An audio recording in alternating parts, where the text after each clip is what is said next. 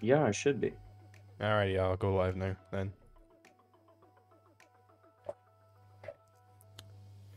Alright, so we are now live. So, um, today we're doing the um, anarcho-capitalism versus nationalism, I believe, was your primary ideology of choice, right? Uh, yeah, I, I would describe myself as a nationalist before anything else. Alright, um, do you have any sort of um, opener you want to go through, or do you want to just uh, head right into it? Uh, let's just go into it. Feel free to take the lead. Alright, um, so what exactly does nationalism mean uh, to you specifically? Uh, as an American, I don't really care for the uh, ethnic definition or the religious definition so much as it's the interests of my nation. In this case, it's the United States. Uh, hopefully, with uh, the aim of keeping our self governance over our land, and that we should govern ourselves free from outside interference, that we should have a social contract that is not only maintained but continually refreshed to promote the interests of our people, and that we should either uh, maintain or uh, try to conserve our culture and our common values that allow us to be a congruent people. Uh, so you said there that you're looking for, um, you know, uh, the aim of keeping self-governance. But I mean, um, what is self-governance if not anarchy? Uh, is it not surely other people governing you if you're in a state? Uh, you can make that argument in the case of idealism, but I think that when it comes down to it, having like no common law whatsoever would be pretty detrimental to most people, and that more likely than not, that would create a power vacuum that would lead to undesirable situations like has happened during a lot of chaotic times in human history. So, while ideally, you know, supposedly you, you could make the case for no governance whatsoever by any people. Uh, in practice, I think that a certain degree of compromise must be made to protect our interests and actually ensure that uh, basic human rights are acknowledged and protected. So, um, you know, going over human rights, um, what are human rights? I don't think that there are anything inherent so much as there are things that we've mutually agreed upon. Uh, for example, you have a human right to your uh, to your bodily autonomy. You have your freedom of speech. You have your freedom of religion, uh, freedom of movement, and ever assorted things that would go in line with that, such as the freedom to protect yourself. You have uh, similar things that split off from that, but are often covered in the uh, amendments of the American Constitution and the Bill of Rights. So, uh, something like bodily autonomy, uh, let's say in the case of rape, that is surely somebody not agreeing upon your bodily autonomy, right? Uh, definitely. Right, uh, but I mean, if human rights are things that we agree on and not inherent things, and the case of a rape would be somebody not agreeing on your bodily autonomy, what makes that a right? Uh, it's a thing that we've agreed upon as a society. But I mean, at least the ra- at least the rapist uh, doesn't agree upon it, right? Well, the rapist may or may not agree with that. Uh, the motive for rape is usually something to do with uh, sexual desire, as far as I know. I mean, they definitely then- don't agree that you should have that bodily autonomy, or else they wouldn't do the rape, right? I, I don't know that for certain because a lot of people I mean, if say they- that if they- smokers if- agree that smoking is bad, but they still do it. No, if they if they thought that that person ought to have that bodily autonomy, then they wouldn't controvert that, right? Surely. But you're basing this on the idea that people always do what they believe in, which uh, I, I don't know about you, but I don't find that to be the case. People often are So what if rapists who- go against what they believe in. What- what if- what if a rapist had not the- consistent? What if the rapist had a defense? Well, no, I thought that they shouldn't have that bodily autonomy. You know, what if that was their defense? So therefore, because not everybody agreed on that bodily autonomy, therefore it wasn't a right. That would be them being a dissident to the common understanding of what is But your but your definition of what a right was was things that we agree upon. it's not like a you know a one-to-one basis so much as it's you know, as a nation state or as a collective. But I mean, the collective can't want anything. So I mean, are you going through like if the majority want this to be a right, then it's a right? Uh, that's a little bit too much of a black and white. Like, oh, you you can't say that 51% of people agree with something, therefore it's now a right.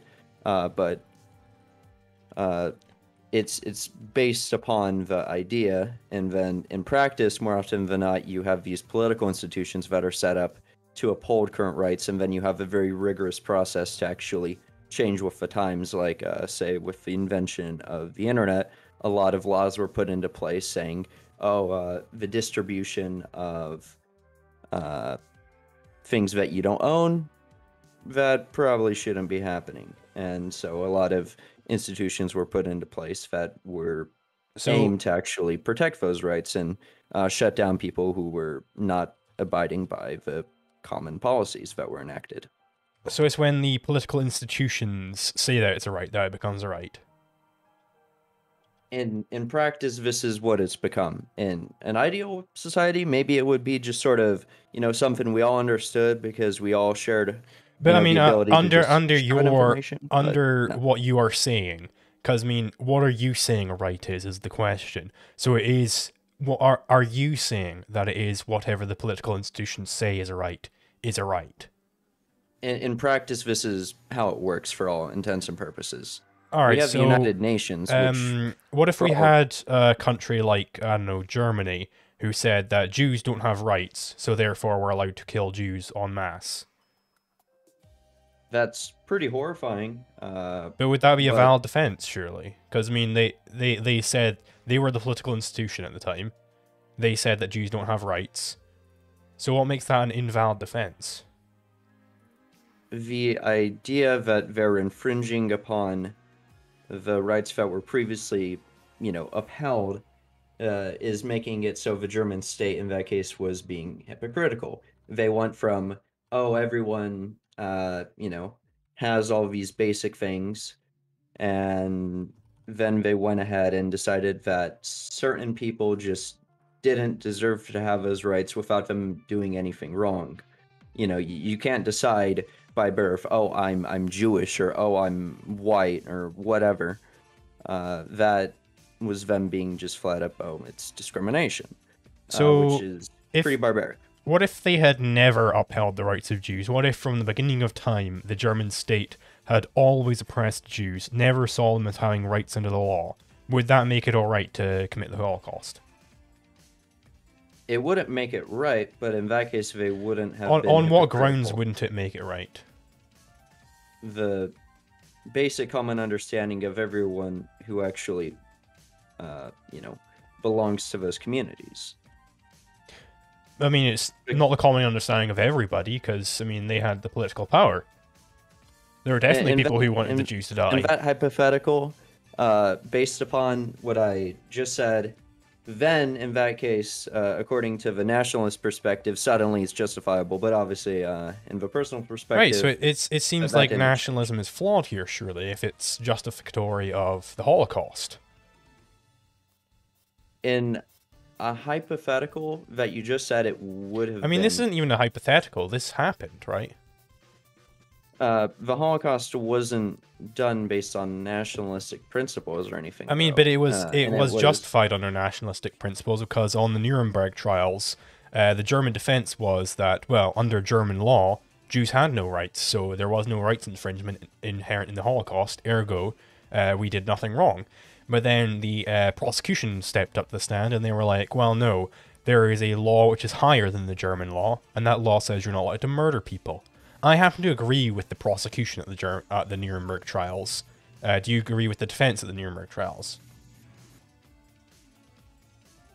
I don't necessarily agree with the process because again, they went from. I mean, which which these- side do you agree with? Do you agree with the defense of the Nuremberg trials or the prosecution?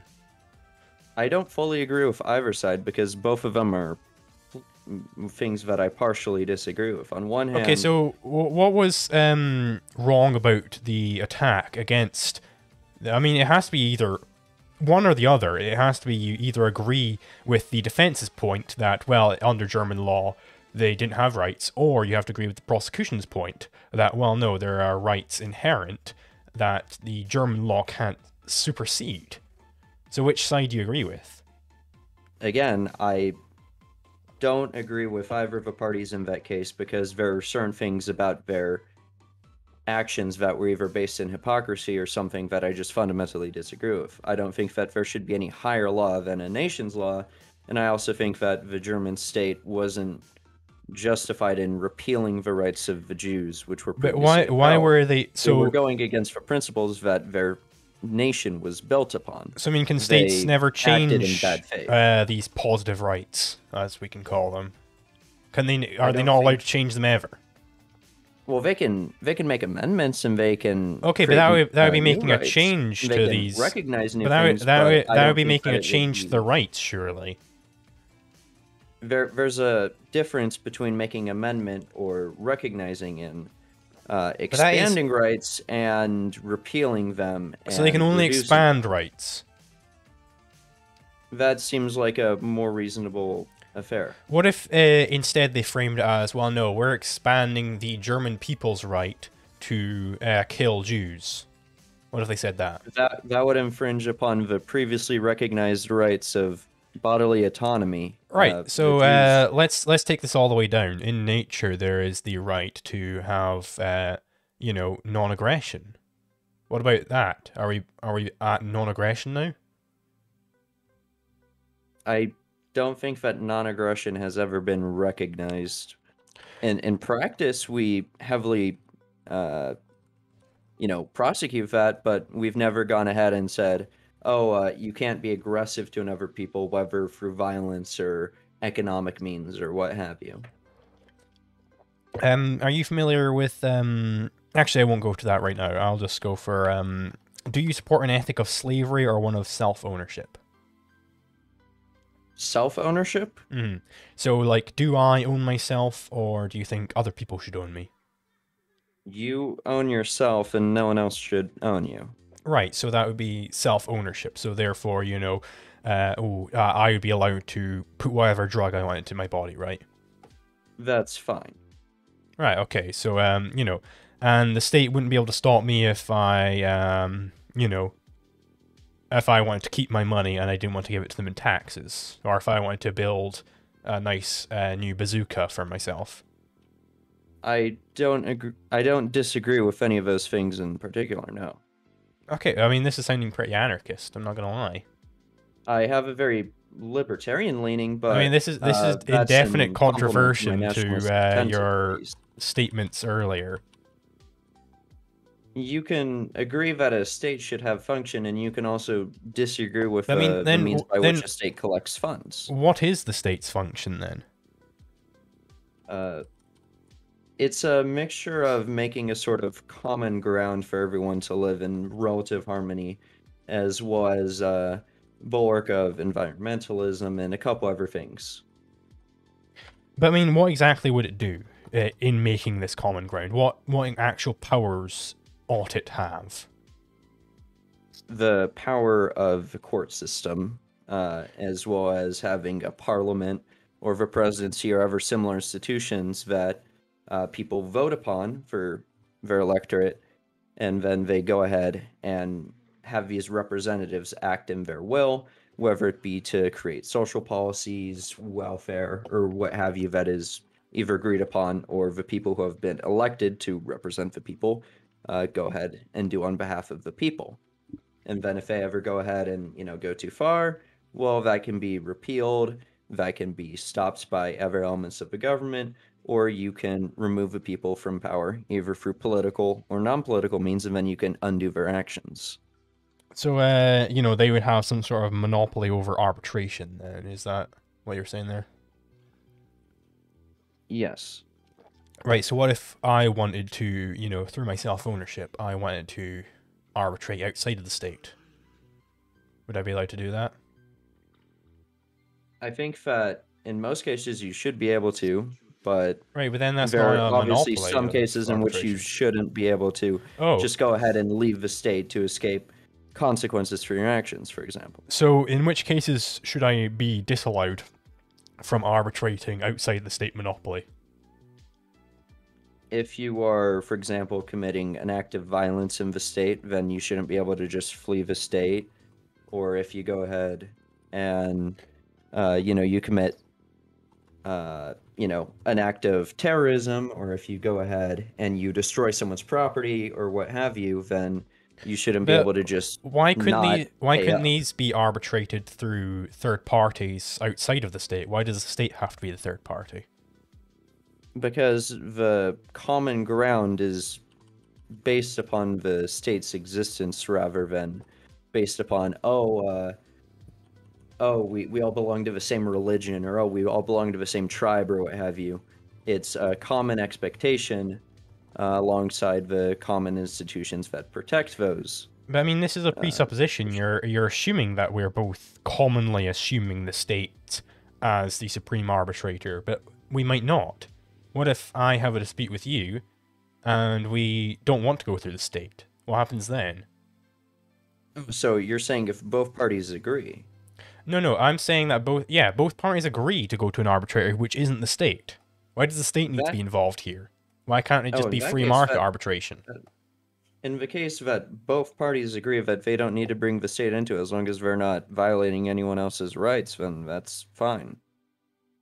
Right, okay. I mean, that's that's pretty anarchist. So I mean, you know, there isn't even a monopoly on uh, arbitration in that case. Um, but you said before Yeah. that they, you know, the state could maybe implement policies, like you mentioned, welfare there. Uh, how do you think these um, policies would be funded? Through things like inflation. I mean, um, so is this how is this inflation going to fund the state? Are they going to force people to use their money, or are they just going to hope that people use their money? Well, it's more about mutual benefit with having a universal currency than, oh, uh, we're holding you at gunpoint and saying, use our money. Uh, a, a, an institution can go ahead and say that their money is the only one that's, uh, you know, usable to pay taxes with. So in that case, Taxes.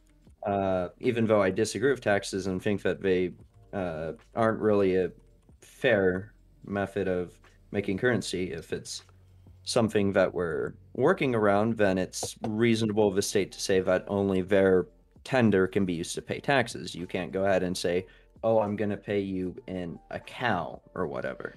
So I mean, why would you expect the state's currency to be the universally accepted currency, and why not something like gold? uh, gold as a resource has various limitations, like the weight of it, as well. I mean, everything has that weight Aside from it. having uses in things like, well, the sheer weight of gold, as well as the fact that not only is it not a particularly useful resource outside of, say, like electronics and jewelry, it's in Right. I mean, I mean, something like gold. I mean, just like much that makes gold useful. just something like day. a sound money, i.e., something which is a general medium of exchange. Why we, why should we accept fiat money, which is constantly going to be inflating in price? You know, where it's going to have constantly redu- reduced um, fucking uh, purchasing power. Why should we expect that to become the natural currency rather than something like gold, which basically everybody wants gold? I mean, the case of gold is more of an outdated sense of value. I Uh, ver- uh, no no no it's- it's it's it's, not- it's not outdated. It's that the state supplanted gold with fiat through fraud. It committed fraud by making It, it committed fraud. It basically said, okay, right, all the cent- all the banks have to store their gold reserves in the central bank now, and then after a while they're like, okay, right, now the now the individual banks are no longer allowed to withdraw those gold reserves anymore. They have to use uh, fiat now. That is fraud. They basically stole a bunch of fucking gold.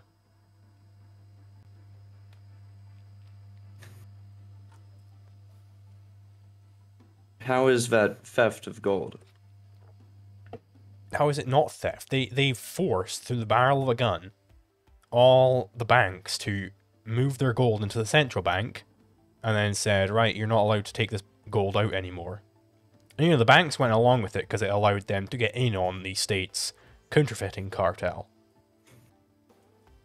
But the reason that they went ahead and moved all the gold around, and then they ultimately decided that the fiat would not only make sense, but people actually went ahead with this change, wasn't out of, oh, suddenly the state has all the gold or whatever. It was more of a practical thing. Uh, what of, what was the oh, practical well- benefit of having the state uh, have all the gold and we move to fiat? What was the practical benefit of that?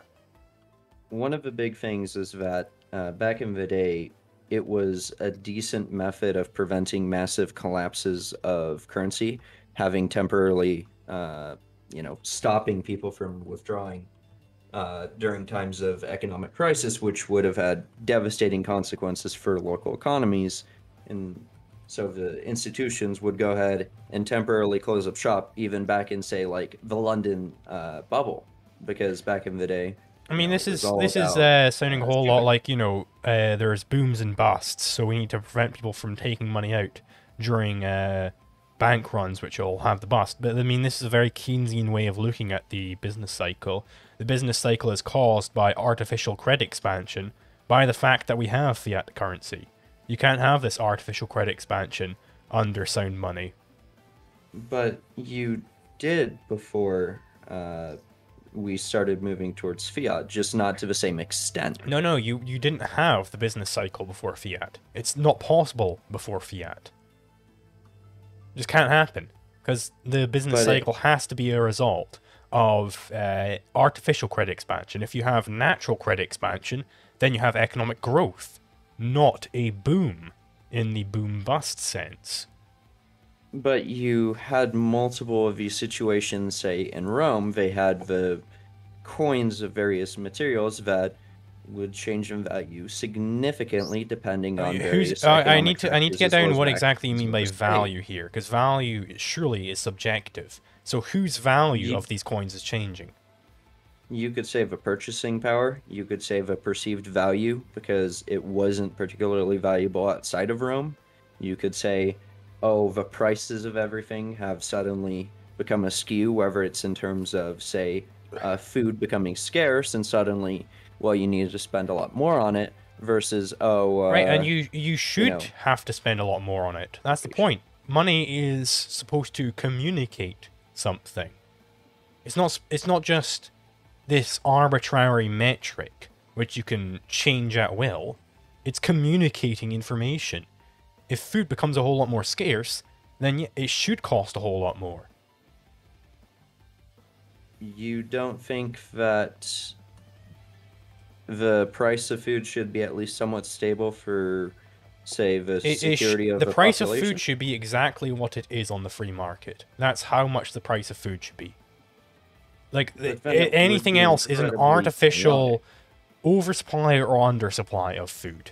If you artificially set the price of food lower than it really should be on the free market, then you're having people are going they're just not going to produce any food at that price because they can't make money out of it because it's more scarce. And do you not see the problem with a bunch of people suddenly not making food anymore because the price went too low? I mean, what is, what is the alternative? Enslave them? Force them to make food? You can have governmental and local policies that supplant them by providing them with uh, a certain amount of money to either produce providing them that money from price, where, or though? you can have them From uh, where, though? Th- There are scarce means. Where are they providing these extra means to make more food from? you can have It has to be a amounts of- reallocation. Who is losing out in this reallocation?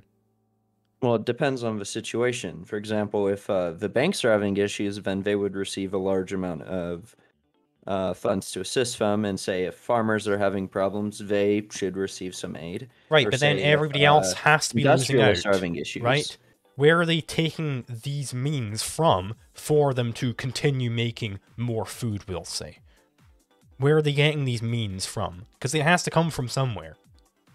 Well, the primary thing would be that there would be a certain uh, stockpile in the reserve of the state that they can draw from in times of crisis. Right, but where did they and get all of this from? and then it slowly increases in supply from the printing of more money and then that can distribute through. Right, so it's all it's all from it's their the banking monopoly. But how did they acquire this banking monopoly? It's a political process more than anything. Uh, I agree that it's a political process, political in the uh, Oppenheimer sense of the term. It's very political in that sense. Right? they are essentially aggressing against people to get this monopoly. It's not just arbitrary. They didn't just people didn't, didn't just decide to start using fiat money. Because why on earth would you decide to use that as a general medium of exchange? It's going to go down in fucking value over time.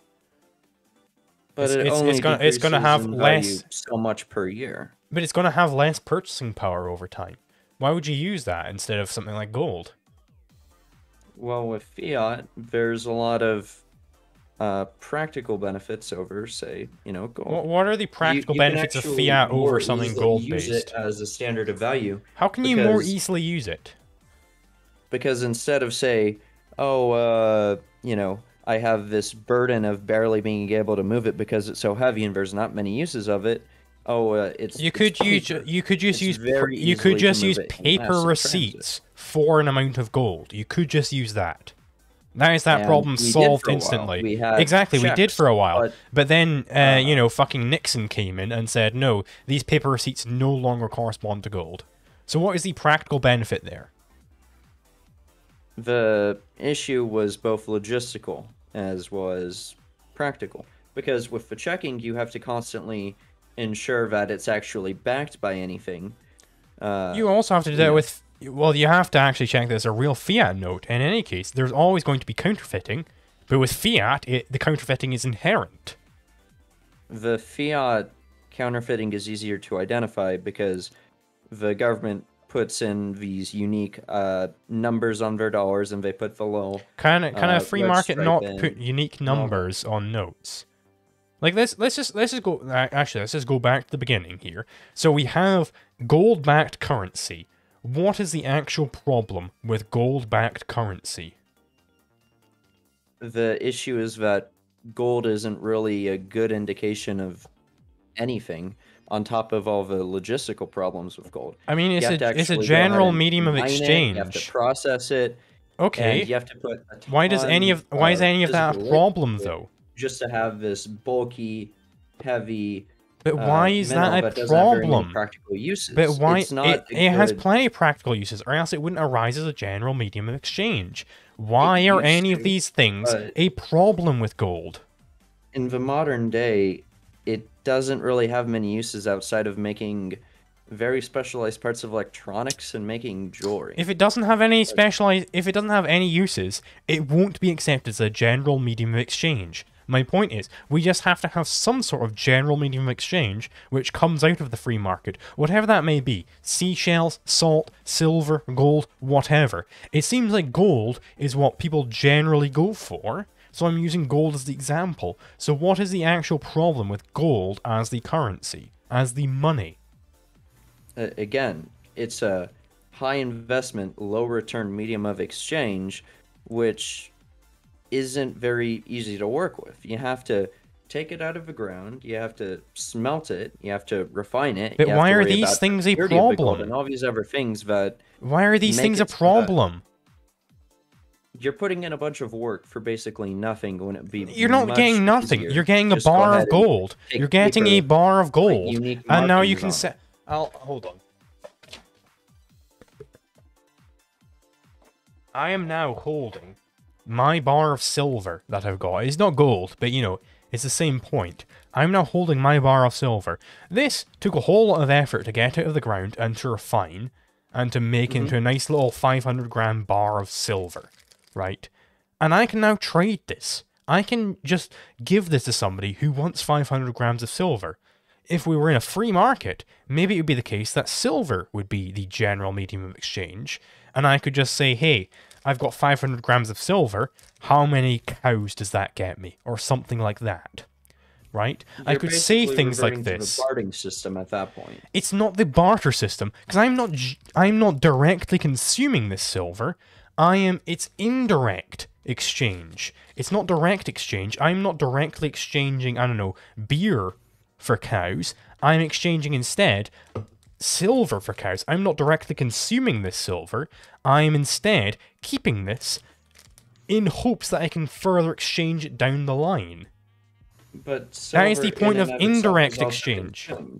But that is the Yeah. oh my that is the point of indirect exchange. That you aren't gen you aren't directly consuming it.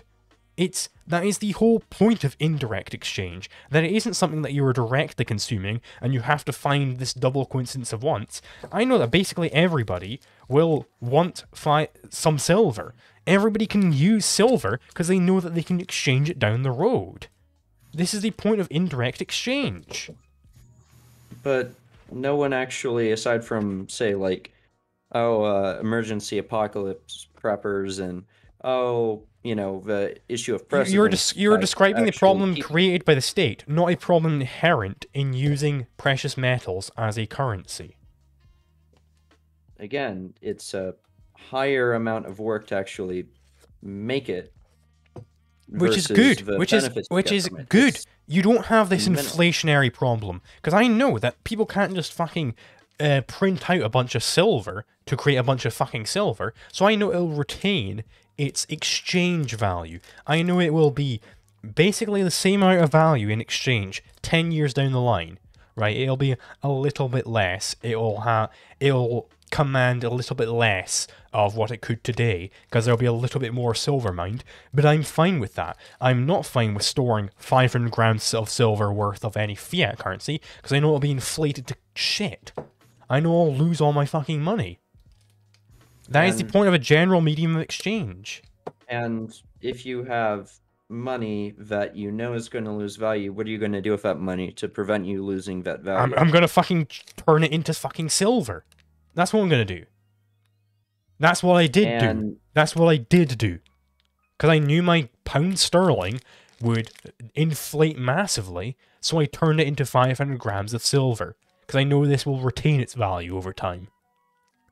okay, you personally bought a bunch of silver, knowing that the dollar is going to lose some value, and that's cool. You can Right. You can So what is the do problem with silver-based currency then? Can take their What is the what is the problem with sound money? going to slowly use value, and they can take that money and they can spend it on entertainment or they can spend it on trying to make a business venture, whatever. And because the dollar perpetually decreases in value ever so slightly, more in times of crisis or whatever, uh, that's fine.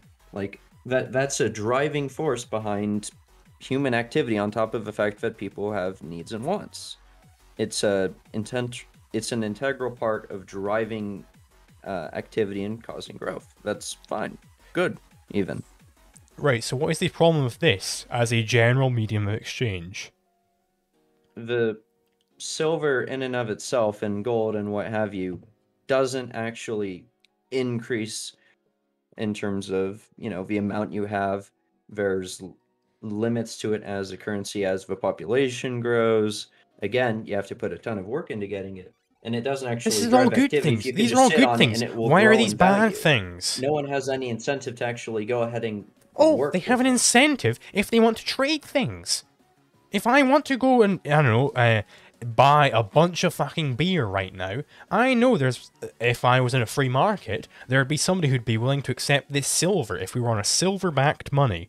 If if silver was the money under a free market, it would probably be gold. But you know, if it was silver, then I know there'd be somebody willing to accept the silver. This is the point of indirect exchange. and you're suddenly having this significantly reduced market where No, no, you're having massive expanded market. Because if I, let's say we're in the, the the base exchange market, we're having Crusoe Friday. Let's let's not even have Crusoe Friday. We're having people A through Z on an island. Just every letter of the alphabet is on this island, and they're doing shit. And then they're like, A wants to trade his berries. Uh, he's got a bunch of berries, and he needs to get some cows. He needs to find somebody who has cows who wants berries. he needs to find that person. But if instead they are all using a general medium of exchange, say silver, then he only needs to exchange his berries for some silver. So all he needs to do is find somebody who wants berries and has silver. And he goes, All right, you have silver? I'll give you my berries for that silver. And then he goes to the person with cows and they'll want silver as well. So he gives him his silver that he now has for the cows. It's indirect exchange rather than direct exchange. This is so key in economics. It's so fucking key. And there's nothing inherently wrong with using It's, it, but it's, again, it's just natural. it's It's, it's the natural. as using, it's it's uh, money arises on the market. We don't need to that's We don't need to have the state Right. give us money. Money arises naturally. These this indirect medium of exchange arises naturally on the market. And again, this money isn't ideal. It, it's just What's what's oh, not ideal about this? What is not ideal about this? again, silver is inherently based on how much you can go ahead and get out of the ground. Oh it's oh not God, that's good. That's good. It's good that you can't massively inflate the supply of this shit. It's good. That is a good thing. Obviously hyperinflation is bad, but having a low, steady amount, What is wrong about that? What is bad about that? again, it doesn't drive activity. The What money do you mean doesn't drive itself is just activity?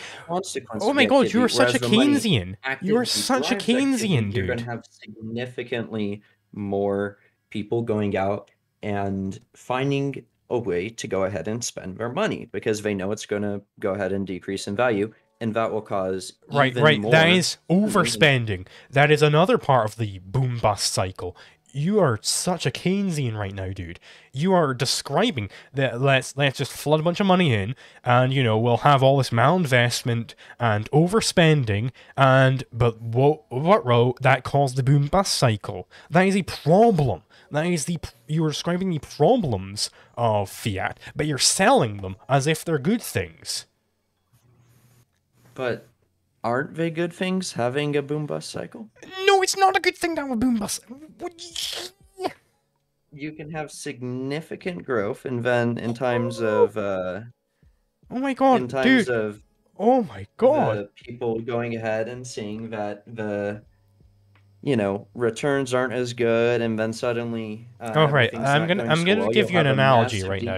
in activity again, where people will correct and I'm just like I, I want to I want to give you I want to give you an analogy who for the boom bust cycle right now. I want to give you an analogy here. So basically, imagine Robinson Crusoe wakes up. He's he's been on this desert island for a while. He wakes up one day, comes out of his little hovel, and he sees some new colourful mushrooms on the ground. They grew overnight, and he's like, "Oh, those are some interesting mushrooms." He eats these mushrooms, and they cause him to hallucinate. The hallucination is specific in that it makes him think that he has a far greater supply of goods than he did previously. So, you know, he would obviously change his plans of production. He'd go, wow, I've got so many goods. Instead of creating a tiny little raft, I'm just going to create a fucking cruise ship with robot butlers who are going to do everything for me. And I'm instead of creating a tiny little hut for myself, I'm going to create a mansion. I'm going to do all these crazy production plans because he has, he thinks he has so many goods, but he doesn't have these goods, right? And um, you know, but then the the the hallucinations wear off. He wakes up the next day and he's like, "Oh shit, I have misinvested all my goods. I have malinvested all of my goods in these projects which I'm never going to be able to finish. I'm not going to be able to finish this cruise ship. I'm not going to be able to finish this mansion." He is, you know, your solution here, the Keynesian solution is well, he should just eat more mushrooms. That'll get the boom started again. He'll think he has so much more goods, and he'll start investing them as such. No, no, no. The Austrian solution is the bust is healing. That is when people are realizing that they have made wrong investments, and they are starting to make right investments again. What you're suggesting is that Crusoe should just eat more mushrooms, and then that'll solve all his problems. No, it won't, because he'll still be misallocating resources. But you can realize that you're misallocating resources and then go ahead and make course adjustments and also have that steady inflation of supplies. No, no, no, no, no. You, you, case, if uh, you're having the currency. steady inflation inflation of supplies, you're constantly distorting the information mechanism, the information transfer mechanism that is money. You're constantly distorting the money, which is the entire point of money. Is that it, it communicates information.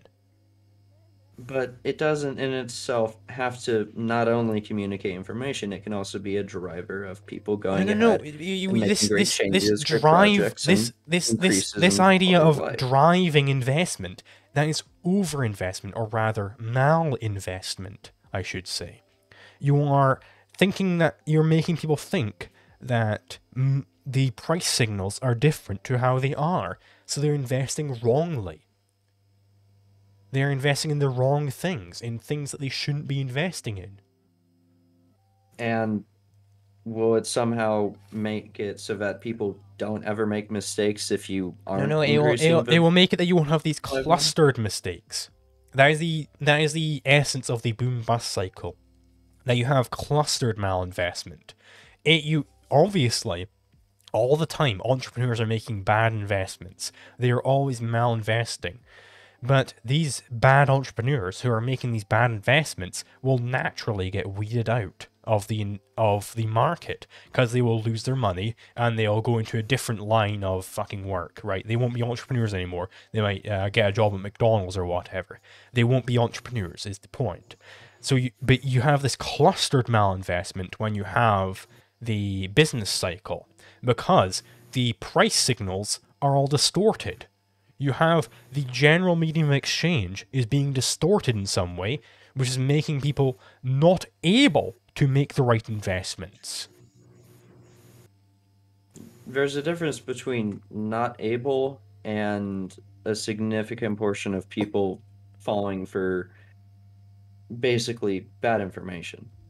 Right, but if, if if we don't have this bad information in the first place, if we don't if we have sound money instead of fiat money, where you can't have this manipulation of price signals, that's surely better. I mean, it depends on the situation. In most cases, I would say that it's probably gonna drive more activity and otherwise be a good thing as people continually have that drive on top of their But a- inherent human alright, needs to actually go ahead problem. and get rid of their activity as such isn't necessarily good. You can have overspending. You can have too much activity in a market. It wouldn't be good if everybody right now went out and spent their life savings on Orbeez or whatever. That would be a whole lot of economic activity, but it wouldn't be the right amount of activity. It would be too much activity. Because everybody's investing in Orbeez, and then suddenly, you know, fucking, uh, we can't use these Orbeez to eat. You know, all the farmer farmers have lost their crop because they spent all their fucking money on Orbeez. You know, the it would be a whole lot of economic GDP would go way up, right? There's there's actually a comic which goes into this. It's um, you know, uh, Krugman and some other fucking idiot uh, economist. He go he's he's walking down. They're walking down. They see a pile of cow shit. Person A says to person B, "Hey, if you eat that uh, pile of cow shit, I'll give you ten grand." And he's like, "Deal." And he eats that pile of cow shit. Then they're further down the road. Person B says to person A, "Hey, if you eat that pile of cow shit, I'll give you ten grand." And he says, "Deal." And he eats that pile of cow shit. And then you know, uh, they're they're walking further down, and person B says, "You know, uh, we both ate cow shit. and neither of us are richer." Uh, and then person A says, "Don't worry, bro. Uh, GDP has just increased by twenty grand, and we make created two new jobs. It's it's fine." Right? You see the problem there? It's just having more economic activity isn't necessarily the this necessarily It's not good. a it's not a golden bullet. Right, yeah. It's just it's just not necessarily a good thing. You can have overspending. You can have too much activity, is my point. Yes, you can, and that's a time when you don't follow Keynesian policies. Right. That but that should be You- you go ahead always. You should never follow Keynesian policies. Because it's always going to be the case that you are distorting the market away from what it should be. But what should the market be? The market should be exactly what the free market makes it. Uh, eh, again, like it, it's not necessarily going to be the case. Uh, if you just have a nat quote unquote natural activity with no intervention from any overarching organizations, you're going to have a lot of trends that don't necessarily better anyone. Just like you're also going to have these It, it- and busts. it necessarily has to better at least the people who are trading, right? Because trade has necessary mutual profit. Most does, yeah. Not most. All trade, all voluntary trade, that is, has necessary mutual profit. No, because people don't always follow their self-interests, and a lot of people are just flat out can you- consumers. Can you give me a counterexample of a voluntary trade where both parties do not profit? Both parties don't profit, or one party doesn't profit. at least one party doesn't profit. Okay, let's say that the current state of consumerism, where people just buy these, uh, what do you call them? Funko Pops. Mhm. They're just these little fucking plastic things. They don't do anything. You don't get any entertainment value out of them, but people still spend money on them because of like, oh, I don't know, collector's value or something. They're not actually getting anything out of it, but people will willingly fork over hundreds of dollars for these, Right, and, the and the, fact nothing happens with them. the fact for the the- seller the makes them fucking plastic. The fact that they fork over hundreds of dollars surely implies that they value the Funko Pop more than the hundreds of dollars that they fork over, right? and they're fools for it. Nothing is actually Okay, right, but they, because they surely have to value it more than the money they pay for it. they surely do. Right. And so they, they, they get something good. that they get something that they value more. Ergo, they raise themselves on their value scale, so they profit. It would it was a meaningless exchange. You you might think so, but they don't think so. They necessarily have to think so. That they necessarily have to think that they value whatever they're getting more than what they're giving up. For whatever reason, it may be something that you think is a silly reason, but they have to think that, so they have to profit. and do you not see the issue with people going ahead and just buying whatever because I of mean, their I- personal perception? I agree. I Oh my god, that's such a great thing. I ag- I- no I- I- I- purpose for it. or I. I agree that it's silly, but that is irrelevant to economic analysis. Whether you think it's silly or whether I think it's silly is completely irrelevant to whether they do profit. But they do profit. So you- you're basically just saying that personal gratification is just a fine means to an end. I'm saying that when you raise yourself on your value scale, you're profiting. And you necessarily have to raise yourself on your value scale when you exchange something that you value less for something that you value more, which is the case in every voluntary exchange. So, therefore, every voluntary exchange has mutual profit a priori. And that doesn't actually necessarily create like anything. What do you mean? So it doesn't create You're anything. basically just having. I mean, of course, of uh, course, trade doesn't create anything. It's just me hopping. It doesn't create anything. What, what's your point? we've fallen into a trap of just like how you have a boom and bust. Suddenly, oh, uh, things are fine. People are just buying whatever, even if they're not actually going ahead and, you know, creating anything of mer- uh, metrical value. They're not, say, uh, improving the quality of life or, uh, you they necessarily, if they, if they're trading, house or if, whatever. if they're trading it, then it's necessarily creating a better quality of life for those who they're trading it towards. It has to be the case, or else the And other trade partner is- wouldn't agree to it. Th- This is essentially falling into the rut that is the current state of American consumers.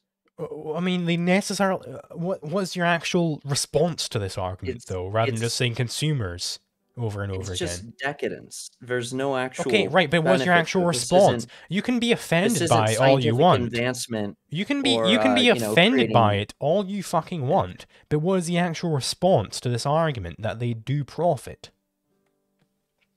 You, you're basically just changing what it means to profit. So I'm not or not changing anything. Is actually profitable. Just What do you think matter. profit is then? you can be What do you think profit is? loss, and it just doesn't matter at that point. What do you think profit is? If personal, not, if uh, not of raising yourself on your value scale, if value is not subjective, what is your theory of value? There isn't any inherent value in anything. It's Right, if there's not in, actual in, in any inherent value in that it has. anything, then it has to be subjective, right? again, it it is. But Right, it is a good thing. subjective. So should try and therefore, as so therefore we have the subjective theory of value. So therefore, mutual exchange, voluntary mutual exchange has mutual profit.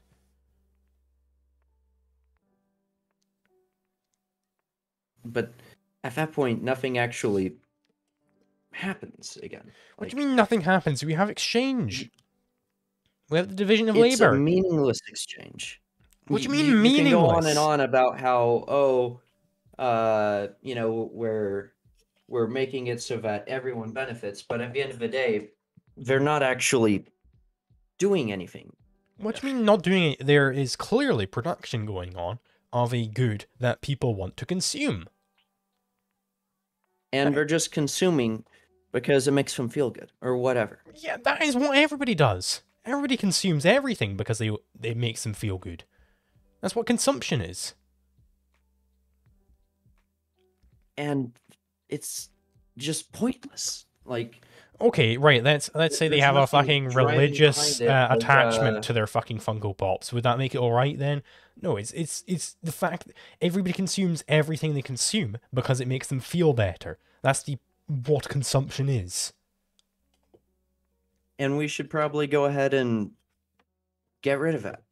Get so get rid of exchange. No, I'm saying get rid of the decadence. You want to make sure that Okay, how do you measure and They decadence? understand how How do you measure just for the sake of gratification isn't actually getting you anywhere. How do you measure decadence? It's just luxury goods. So Like, what makes a good a luxury good? if it's not necessary for survival, So any good not necessary for survival is a luxury good. Why are you currently using a computer? for entertainment, this is all right, that is that of is uh, that is not necessary for survival, my friend. So uh, uh, abide by your own teachings and shut up and log off and never use a computer ever again. Ver- I should Right? Yeah, do it right now. sure. Go on. All right. If I ever see you on a computer again, I'm gonna be mad. Uh, but the point being, it, it's all just for the sake of entertainment. We're going Yeah, down a path of which is- no which is not We're for- destroying the environment, all for the sake is of that is oh, not that is not for the point of survival, though. You said you should only ever use a good, which is for the point of survival. You're currently not We doing this for survival. in an ideal world. Oh, so it, it, so you think it's fine to use things in a non-ideal world? But you could currently, right now, stop using a computer. You could log Yeah. off. You could shut up. You could never tell anybody about your fucking retard doctrines ever again. You could do that right now. Yeah, I could. Right. So why don't you? I dislike the current way that we're heading, and I want to try and course adjust. But why? Why bother? Because you have to use these evil means to do so. They're far from evil, so much as they're just incredibly undesirable. But if they're undesirable, then you. That's clearly a contradiction because you desire to use them. It's a means to an end. Right, and it's a means which you are deeming undesirable, but you desire to use it. Where is where am I slipping up there? Um, Why is that not a it's a contradiction? compromise. it's a contradiction, is what it is. Yeah, it's it's a compromise. It's It's a an action for the contradiction. a goal. Contradiction is not the same word as compromise. You're having a contradiction here in saying that it is an undesirable means, and yet you desire it. Clearly. But I I don't desire the means itself. I desire my end goal, and I use the means. To You, you desire get towards you, that de- you desire the utilization of this means, and yet you claim it is an undesirable means to utilize. and I, I would rather just not have these electronics and all these other things Clearly not. Clearly not. Because if you did desire to not have any of this going on, then you wouldn't be doing any of this. You would be out in the fucking wilderness. If you did truly desire I would, I would the opposite, love to be out in the middle of nowhere, but Then go. for various practical then, reasons. then then stand up and walk out your fucking house right now. I would absolutely love to just live in the middle of nowhere with a cabin in the woods, clearly-. Clearly, you But love it no. more to not do that. Are you like blind to the fact that people have expenses and things that tie them to where they are? I'm I'm not blind to any of that. I I completely agree that y- you have all these things that you love about modern life, and that you would much rather stay in modern life. I completely agree, but I embrace that fact. You don't. You are ashamed by your modern life, and that is truly shameful. Ashamed of modern life? You are clearly ashamed by your modern life. And that is the shameful thing about you. In what way is disliking the status quo and wanting to live a more simplistic It's- and it's more based on It's the fact that you uh, project ideological? It's the fact that you project this aura that you it is distasteful to engage in all these modern luxuries. You even said it yourself. The fact that you project this that it's distasteful to engage in these, and yet you still engage in them. That is what makes you ashamed of your modern living. You shouldn't be ashamed of this. You should be happy about it. You should be thrilled by the fact that you have this modern living. but it's just there, there's no greater point to it, and so The greater really point is is, the furtherance of human. considered undesirable. The greater point is the furtherance of human welfare, which is the point of a capital good. You are a primitivist. No, You are absolutely a primitivist. You hate humans, is what it is. Primitivism is Mm, no. anti-human. It is an anti-ethic. no. It absolutely is. What is what is the response though? You can say no all you want, but what is the response? You're basically just throwing out a label and saying that I believe X Y Z when I don't. Ethics is how to live your life well. That is the point of ethics. Uh, primitivism is how to live your life worse. That is what makes it an anti-ethic. What is your response? There is no actual. There's no actual. There is I- no I response. don't even know how to articulate this because it's just so contradictory to how we have lived for hundreds of years, uh, where we have a very straightforward system of we have our needs, we act as a collective to solve our needs, and when we have conflicts with other people, we either I'm sorry, act act as a collective. I think you I think you introduced yourself saying that you were quite libertarian leaning, but then you just said act as a collective. You can have libertarian leanings, but also be a nationalist. I mean, what does it mean to act as a collective? There are many different ways in which you can do that. You can band together as a people, whether it be, uh, you know, through common discourse, or you can go ahead and create a political party. Is that not just a bunch of individuals friends acting, or what though? have you. Surely that's just a set of individuals who are each acting. Why is that a collective acting? Because you act for a common goal. Right, but what does that make it that the collective is acting? The collective isn't for common goal. means. You're acting. It's just a bunch of individuals. It's not as if it's like 20 people that happen to work together. You It absolutely is. 20 people who happen to work together. They happen to coalesce on this goal, and they happen to agree to, you know, uh, pool their resources maybe in some way. And That is that is not collective action. there? That is still individual action. It's still a bunch of individuals acting. It's still individual action. It's still human action, I should say. You know, you're a ha- you're an anti-human, so you wouldn't understand human action.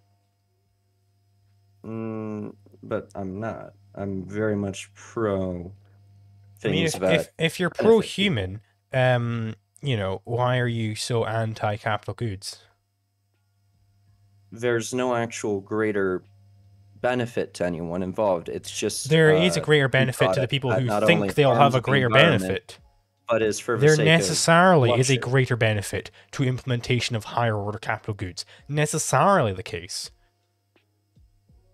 But this isn't going anywhere. This isn't say, oh, we're creating this beautiful thing, uh, like a, you know, a lush forest or, uh, you know, a great architectural achievement. It's a good. Not right. only So are it, it's it's good. It's harm, good. It's good It's you're goods that you don't like. creating very but other limited people like. This is just you projecting your own preferences upon the world. And now I ask you, what makes your preferences so fucking special? My preferences being special. Yeah, what makes your preferences so special? The what what aspect of it? You're you're getting a little annoyed there about the fact that well, all these other people are having their own preferences met, and they're they're Like- disgusting, degenerate prefe- preferences. But my preferences are so cool and neat and holy. But what makes your preferences so special that they should be the standard by which civilization should be organized?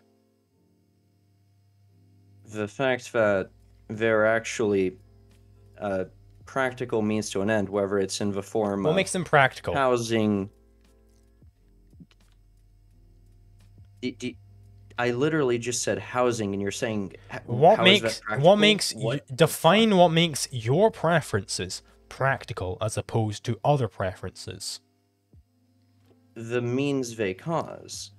You're i- if it's a house or if it's food or water or something like uh, air conditioning or heating or what have you, that very directly benefits the people who use them. It's it's I mean, if we're talking about direct benefits, of every good and can go ahead and flourish. Every good necessarily benefits those who are consuming the good.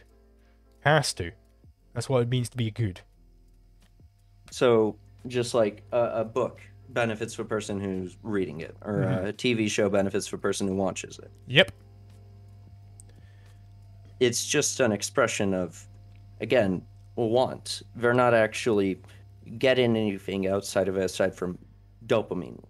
Like, But you, they are you may as well just from it. inject yourself with the chemical They- at that point. There's no meaningful difference. They necessarily. I mean, if if they had the option of injecting dopamine, maybe they would choose that, and then they would necessarily benefit from it.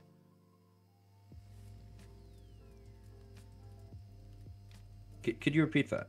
If they did have the option of injecting dopamine, maybe they would choose that, and they would benefit from it.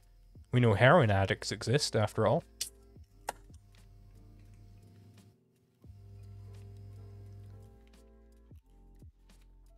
And do you not see the problem with that where it's people just doing things for their basal instincts of, oh, uh, it makes me feel good. there's a there's a conflation here i think with um you know maybe a moral panic problem that you might have with something as opposed to a legal problem there is no legal problem with somebody injecting themselves with heroin but there is uh you know i think it is detrimental to their future well-being so i would i would want to encourage people to not do heroin but we can encourage we can do this on a purely moral basis we don't have to say that therefore heroin should be prohibited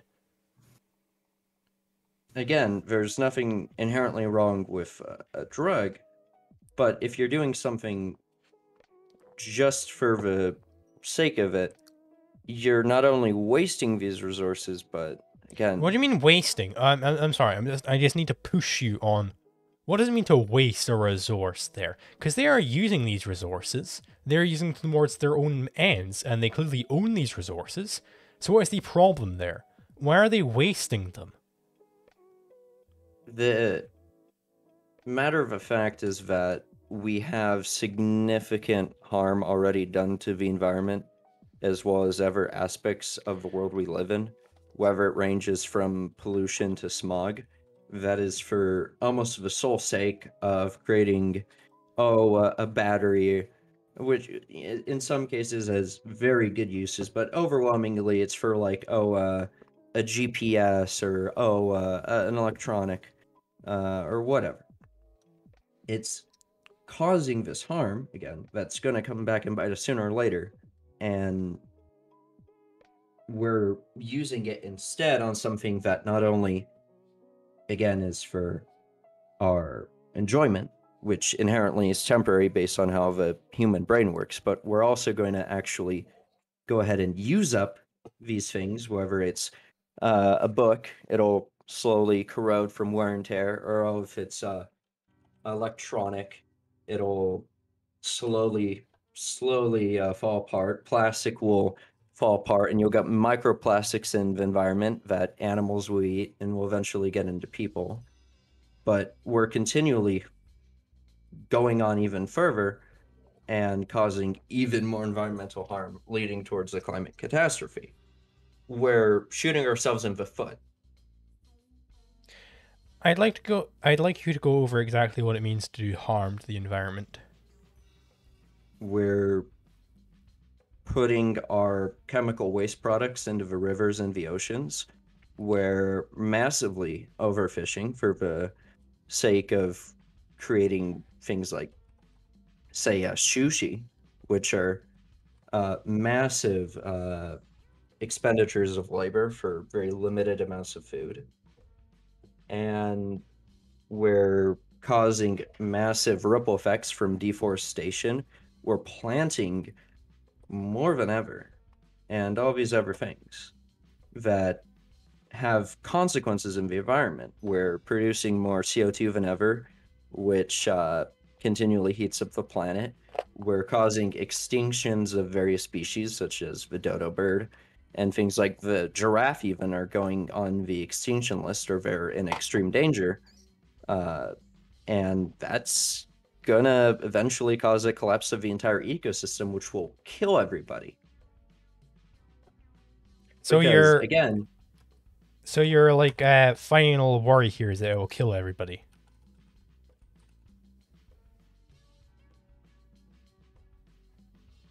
that's one of the eventual consequences of everything that's going to happen. Right. Uh, I mean, um, you know, how couldn't this be solved through private property rights, right? You know, let's say chemicals in water. That that was one of the things you mentioned, right? If I own a river, there's clearly no problem me polluting that polluting that river. If I own a fishery, there's clearly no problem me fishing through that fishery however fucking much I want. Right. Uh, how would any of this lead to the death of everybody, or even the death if, of anybody? If people are constantly destroying the environment because they happen to own it, then that's gonna, regardless of whether or not you work with everybody, if people are behaving on this basis, that's gonna have serious consequences. I mean, this is this is this is why I told you that you are anti-human you're favoring the environment over humans here. Humans want to modify you this environment, and you're saying and you're saying they're bad for wanting to modify the environment towards their own ends. This is anti-human. This is anti-action. This is evil in the very basal definition of the term. Evil. You are wanting to restrict what humans can do, and you're wanting to lead to human death, just so that the environment can survive. What the fuck does that mean? You this is the most evil the thing. This is the most exactly. But that is saying that we require it so that humans can survive. But you're saying that humans should not be allowed to inv- change the environment because it's evil towards the environment. It's it's mean to the environment. It's hurting the environment. No, no, no, no, no. We should have the environment subservient to humans. That is true environmentalism. Humans are part of the environment. Do you not see how that's going to have severe consequences and how that's going to harm if everybody? It, if it does, then we have these arbitration processes, right? We have it that, you know, if it's uh, going to be harmful to somebody else, we have these private property rights. We have private property to deal with disputes over the environment. We don't have it that the environment is superior to humans in how the environment should be dealt with. That makes no fucking sense. And in what way are we going to solve these problems for arbitration? in the way that we can have an objective property right in every single thing in the environment. Privatize everything which moves, privatize everything which doesn't move. That's what we should do.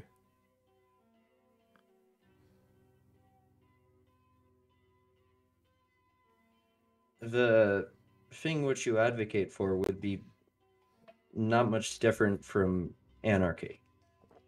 That's why I'm an anarchist. I thought you said you were an ANCAP, which is an anarcho-capitalist. It's I wonder what the anarcho stands for there. Actually, I, I, I have an idea. It might stand for an anarchist. Oh yes, it's an anarcho-capitalist, which is a type of anarchist. you're valuing Who knew? money over everything. I'm valuing And money over everything. you- You need to read up on an ANCAP, bro. I'm not valuing money over everything. What the fuck does that even mean? What does it mean to value You're money over everything?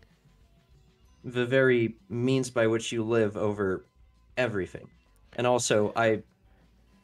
wh- When I was Bro, we had this debate planned weeks in advance. Did you not like look at a I single one of my videos? Conflate- I wasn't trying to conflate anarcho-capitalism with anarchy. I was saying that you're not much different. I am from an, them. do because what- conflate it. Do conflate it. It is the same thing. Anar- okay, right. Anarcho-capitalism.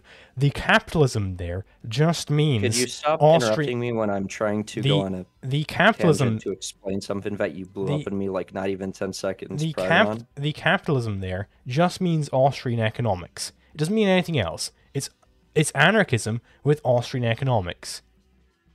Like, could you? Oh my god. Yeah, Do you know what argumentation ethics is?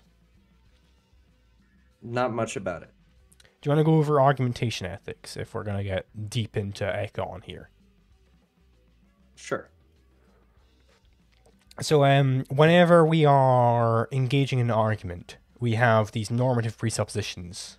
Would you agree with that? We very much do. Right, and uh, you know, so we couldn't argumentatively dispute such normative presuppositions, right? Probably not. No. I'm I'm worried by the term probably in there. Like, could there be a counterexample where you could argumentatively dispute, like you know, something like uh, I don't know, um, it is you should never ever argue. Could you argue something like that?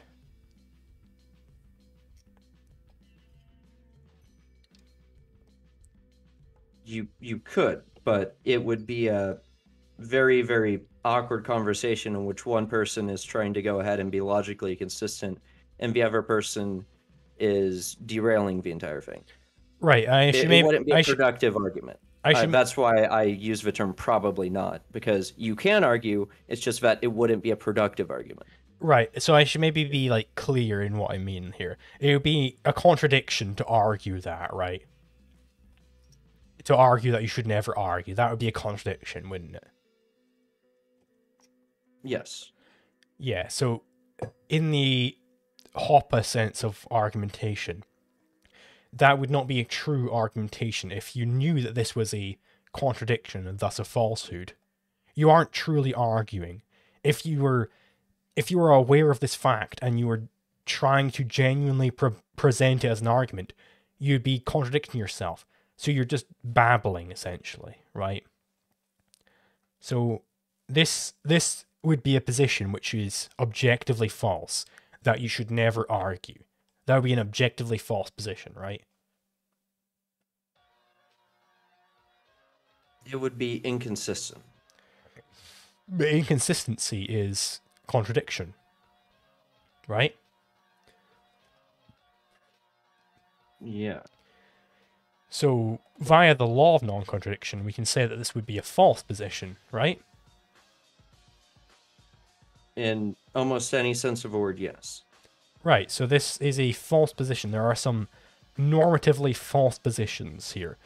And, you know, similarly, we can say that, well, when we're engaging in an argument, we are having that, we are not using violence to attack each other to try and get the other person to agree with our position. We're trying to just ag- get them to agree through the force of our arguments rather than through the force of violence, right?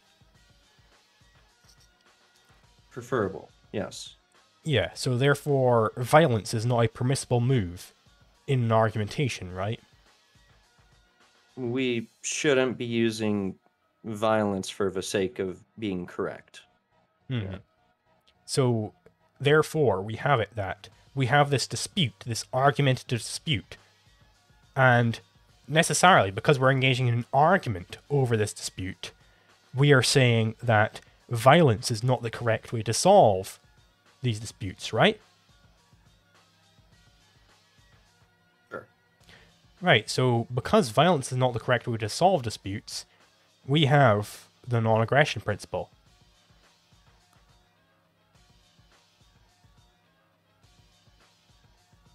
Okay. Right, and therefore, nobody could argue against the non aggression principle. The only issue at that point is things that are objectively harmful to other people. Um, describe how in how exactly could somebody argue against the non aggression principle? I.e., how could somebody argue for conflict initiation? If someone does something that is that is going to go ahead and harm someone else, uh, but it's not direct, at what point do you draw the line and say that, oh, um, this isn't permissible to go ahead and uh, you know cause harm to them, knowing that they're going to cause harm to you, either directly or Well, this is- This is the point with conflict initiation. That's why I say initiation there. If somebody were to start stabbing me, then yeah, I'd be allowed to stop them from stabbing me. But I'm not initiating the conflict there. They initiated the conflict by starting to stab me. They most assuredly did. Yeah. So it's the initiator of conflict. The point is that you couldn't argue in favor of conflict initiation.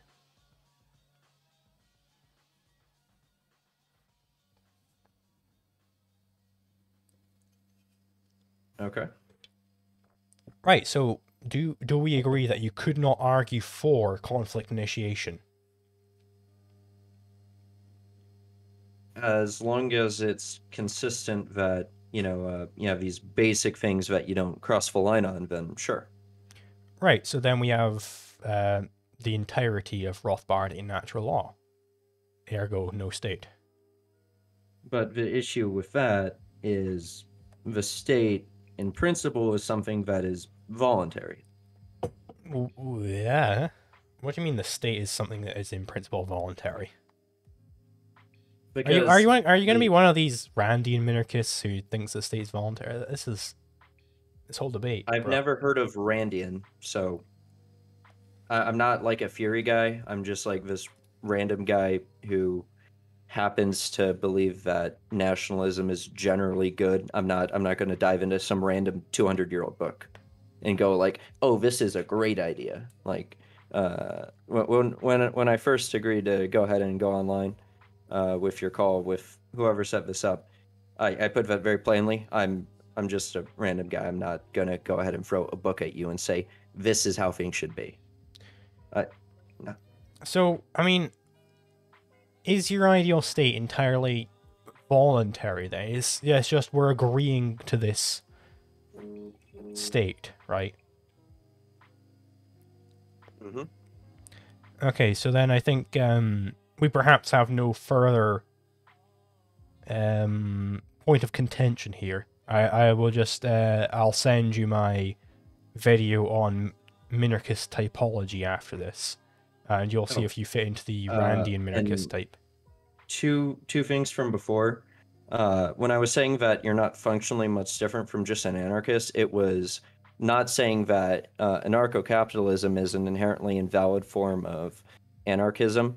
I was saying that uh, by trying to mix the two of capitalism and anarchism, you're creating a system in which it is more likely to go one way or the other, where it's incredibly likely to go ahead and things would just devolve into pure anarchism, or things would slowly converge towards uh, capitalism, and then most likely even towards something like state capitalism, where the uh, capitalist functions would essentially supplant the state, only without the foundations of one. Here, here's my point though: is that the capitalism in anarcho-capitalism just means Austrian economics, which is just what economic science, i.e., what economic school you ascribe to. It, I am an anarcho-capitalist because I'm an anarchist who thinks that Austrian economics is correct.